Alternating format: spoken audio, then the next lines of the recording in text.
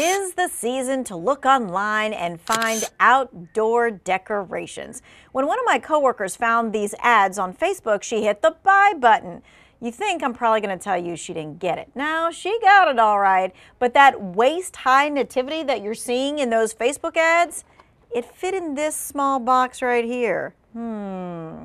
So I had to put it together just to see if what she thought she ordered was really actually delivered. So for 40 bucks, the outdoor nativity set she thought she was getting turned out to be a nativity set that was about oh knee high yeah versus one that was waist high the issue of big holiday decorations being ordered but then being delivered in miniature size started becoming an issue around halloween the better business bureau issued a scam alert you find the perfect holiday decoration through a social media ad or on the internet.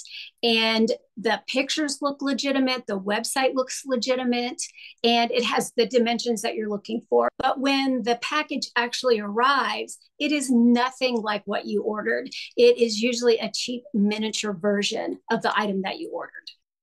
And then when you go back to the company to say, this is not what was promised, you either get no response or one that isn't very helpful. So what are you to do? Okay, you're going to dispute the purchase with the method of payment used. For example, your credit card. Anytime you buy something online, you're going to want to take a screenshot of the ad with the promised dimensions and also have picture proof of what was delivered. Then you go to your credit card company. With credit cards, you have 60 days from purchase to dispute that charge.